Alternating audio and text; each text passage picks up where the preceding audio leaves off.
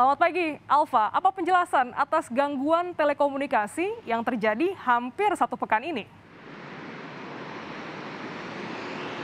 Ya, selamat pagi Lenis dan juga saudara. Untuk penjelasan sementara yang dikeluarkan oleh PT Telkom Group terkait dengan terganggunya jaringan internet yang dimiliki oleh uh, Telkom Group dan anak perusahaannya ini diketahui memang terjadi kerusakan untuk jaringan kabel bawah laut di area Jawa, Sumatera, Kalimantan khususnya untuk rute Batam, Pontianak. Di mana sampai saat ini pihak Telkom Group ini menyebut bahwa proses perbaikan terus dilakukan dan membutuhkan waktu yang cukup lama, Glenn dan juga saudara, yaitu sekitar satu bulan. Waktu yang cukup lama ini dibutuhkan oleh pihak Telkom Group untuk mempersiapkan berbagai uh, upaya untuk perbaikan, salah satunya menyiapkan cable shape yang dibutuhkan untuk uh, mencapai lokasi gangguan yang diketahui berada di bawah perairan laut uh, Jawa, Sumatera, dan Kalimantan. Selain itu, ada juga upaya-upaya uh, proses perizinan yang juga dibutuhkan oleh pihak, pihak Telkom Group dalam melakukan perbaikan tersebut. Sedangkan untuk memperbaiki layanan sendiri, PT Telkom Group ini sudah mengalihkan atau melakukan pengalihan rute traffic internet atau road internet traffic untuk kemudian meningkatkan layanan bagi para pelanggan yang memang uh, terdampak dari terganggunya internet sejak uh, hari Minggu lalu dan saat ini sudah banyak pelanggan yang menyatakan bahwa perbaikan internet dari para pengguna uh, Telkomsel maupun IndiHome ini sudah mulai terus membaik.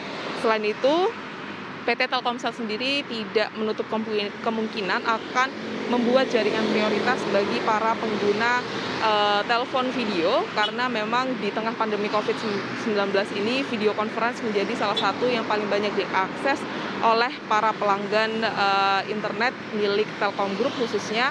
Ini terkait dengan adanya uh, pekerjaan dari rumah maupun sekolah dari rumah. Dan semua upaya tersebut harus terus dilakukan oleh PT Telkom mengingat para pengguna atau pelanggan dari PT Telkom ini menjadi yang paling besar dibandingkan dengan uh, pengguna provider lainnya. Diketahui untuk pengguna Telkomsel sendiri ini bisa mencapai 169 juta per Mei 2021, kemudian IndiHome uh, dengan jumlah pelanggan 8,3 juta uh, pelanggan untuk tahun 2021 ini. Artinya dengan besarnya pengguna di uh, di PT yang dimiliki oleh PT Telkom Group ini tentu saja layanan dan infrastruktur internet yang dimiliki harus uh, lebih cepat dan lebih uh, bisa memuaskan para pelanggan gitu.